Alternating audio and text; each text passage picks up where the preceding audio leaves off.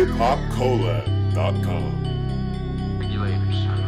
Regulate any stealing of his property. We're damn good too. But you can't be any geek off the street. Gotta be handy with the steel if you know what I mean. Earn your keep. DJ Glass everywhere. People pissing on the stage, you know they just don't care. I can't take the smell, can't take the noise. Got no money to move out, I guess I got no choice.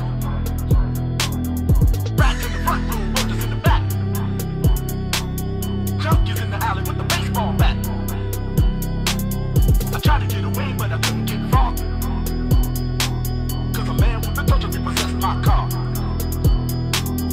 Don't push me, cause I'm